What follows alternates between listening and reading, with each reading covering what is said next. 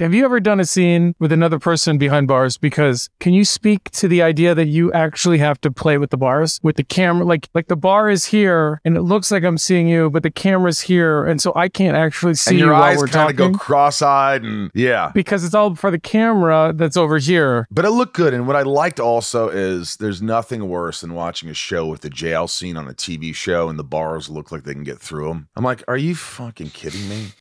I mean, it's probably for what Tom's saying. It's like the, it's a camera thing. Like, Yeah, but like gotta- it looks sometimes so Thank bad. I remember I, I did one. I was on a show and without making, f- I go, I, I looked at, it, I go, what, what? I'm supposed to be in jail, and I'm like, are you guys kidding me right now? And I and I went right through them. I just walked right That's- through the jail.